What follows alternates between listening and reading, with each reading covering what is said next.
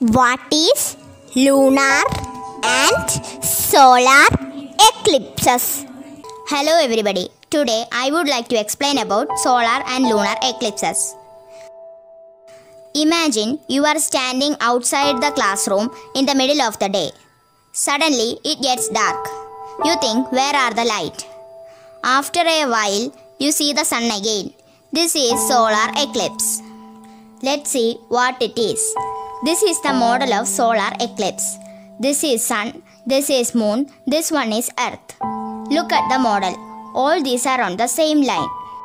Solar eclipse happens when moon comes in between the sun and the earth. This will create a shadow of the moon in some parts of the earth. This is solar eclipse. The moon is very small in front of the sun.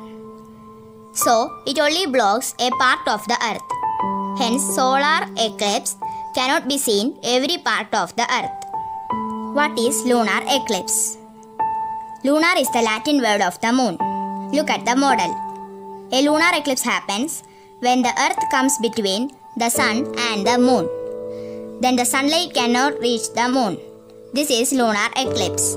I hope you have understood the two types of eclipses. Thank you.